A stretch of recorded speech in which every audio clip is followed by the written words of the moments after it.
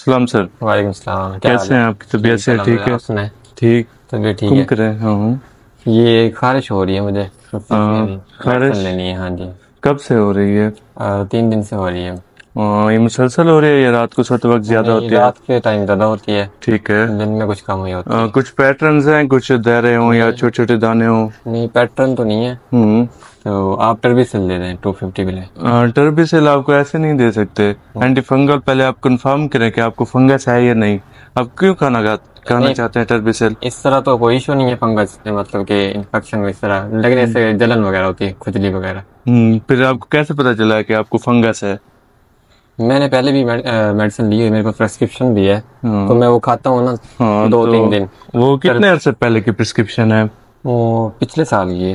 हाँ, पिछले साल की तो ज़रूरी नहीं है कि आपको हर साल एक ही किस्म की खारिश हो। नहीं मैं वही खाता हूँ तो उससे फ़र्क पड़ जाता है। मैं दो दिन तीन दिन खाता हूँ ना हम्म। तो उससे फ़र्क पड़ जाता है। हाँ ठीक है। आपके पैटर्न पिछले साल की तरह ही है? आपके गोल बनते हैं या कोई अलग, एक अलग पहले पैटर्न्स बनता है। पहले पैटर्न बने थे तब ये मेडिसिन ली थी। ठीक है। ठीक उसके बाद दो तीन महीने के बाद दोबारा हुई थी। ठीक है। तब ऐसे खारिश होती थी। सिंपल हाँ जी। फिर मैंने वही यूज़ की थी टर्बिसिल नहीं नहीं आपने वही यूज़ नहीं करनी है। आपने सबसे पहले बीमारी का डायग्नोज कराना है या खुद करना है खुद रिसर्च करें या किसी डॉक्टर के पास जाए डायग्नोज कराएँ कि आपको असल में स्कैबीज है फंगस है या सिंपल खारिश है किस वजह से हो रही है। फिर उस वजह को खत्म करने के लिए खाएँ ये सिंपल एंटी एलर्जिक अगर आप खा लेंगे तो वक्ती तौर पर तो ठीक कर देगी वो आपकी खारिश आपका एहसास खत्म कर देगी लेकिन वो वजह खत्म नहीं करेगी जिसकी वजह से आपको खारिश हो रही है। उसके लिए क्या रेकमेंड करेंगे? उसके लिए आपको आप देखे कहाँ कहाँ खारिश है बॉडी पे? वो किस तरह के है। बैक साइड पे। छोटे छोटे दाने? जाने? ठीक है। आप सबसे पहले एहतियात के साथ ट्रीटमेंट करना है।